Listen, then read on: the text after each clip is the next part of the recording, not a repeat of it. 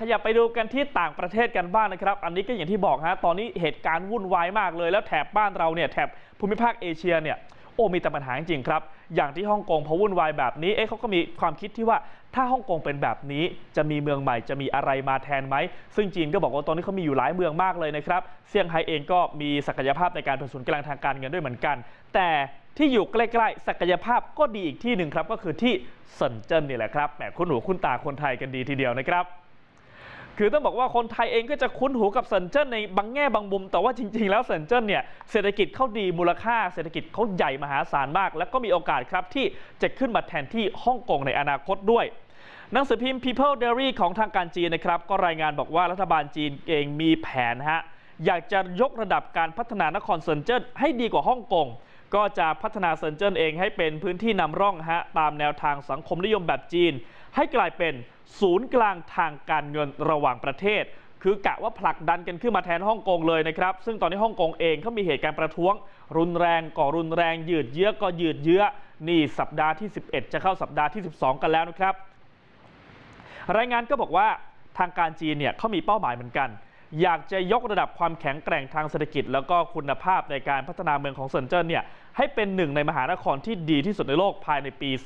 2025 นอกจากนี้ฮะทางการจีนเองก็มีแผนเพื่อการเชื่อมต่อเมืองระหว่างเซินเจิ้นฮ่องกงแล้วก็มาเก๊าให้มากขึ้นด้วย ก็จะเป็นการเพิ่มความเข้มข้นของยุทธศาสตร์พัฒนาเขตเศรษฐกิจ The Greater Bay Area นะครับและก็เป็นการเสริมสร้างแนวทาง 1 ประเทศ 2 ระบบตั้งเป้าเลยบอกว่าเซินเจิ้นเนี่ยจะเป็นกลไกหลักของเขตเศรษฐกิจดังกล่าวนะฮะภายในปี 2035 เซินเจิ้นจะเป็นผู้นำเบอร์หนึ่งของโลกเลยในด้านขีดความสามารถในการแข่งขันทางเศรษฐกิจ ศาสตราจารย์เทียนเฟยหลงฮะจากมหาวิทยาลัยเป่ยหังนะครับ ก็พูดกับหนังสือพิมพ์ Global Times บอกว่า ถ้าฮ่องกงยังไม่พร้อมที่จะรับโอกาสในการร่วมพัฒนากับจีน การพัฒนาฮ่องกงเองก็จะเจอกับข้อจำกัดแน่นอนต่อไปในอนาคต สวนทางเลยกับเซินเจิ้นเพราะว่าเขามาในรูปแบบนี้แล้วฮะเพราะฉะนั้นการพัฒนาเซินเจิ้นเนี่ยมันจะไปได้เร็วกว่าฮ่องกงที่อาจจะเรียกว่า มาปุ๊บเอาไหมไม่เอาเรื่องนี้อาจจะไม่โอเค เท่าไหร่มันก็จะอย่างเงี้ย ไปปุ๊บก็จะฝืดๆไปไม่ค่อยเลื่อนไม่ค่อยไหลเท่าไหร่แต่เซนเจิ้นเนี่ยถ้าไปจะไปได้เร็วกว่าไปได้แรงกว่า แล้วก็น่าจะไปได้ไกลกว่าด้วยนะครับ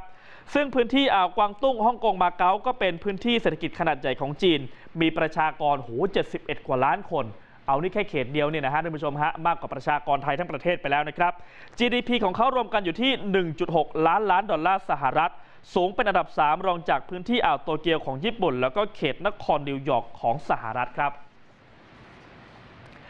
โอ้โหเอาว่าเอาแค่เขตนี้เนี่ยนะฮะจำนวนประชากรมากกว่าเราแค่ไม่เท่าไหร่ฮะหลักไม่กี่ล้านคน แต่ว่าเรื่องของขนาดเศรษฐกิจเนี่ยใหญ่กว่าเราเยอะทีเดียวครับ นี่แหละท่านผู้ชมครับ คือต้องบอกว่าตอนนี้ฮ่องกงเนี่ยเป็นความวุ่นวายเกิดขึ้นมากเลย และตอนนี้เอง จีนเขามีมหานครหลายแห่งมากเลยบอกว่า ถ้ามีปัญหานักเราพัฒนาที่อื่นขึ้นมาก็ได้สันเจิ้นเองก็บอกว่าก็เป็นที่หนึ่งที่น่าจะไปได้ไกลนะครับอีกที่หนึ่งที่ก่อนหน้านี้มีการคาดการณ์กันเขาบอกว่าเซี่ยงไฮ้เนี่ยอาจจะเป็นศูนย์กลางเป็นนครทางการเงินภายในภูมิภาคได้ด้วยเหมือนกันนะครับ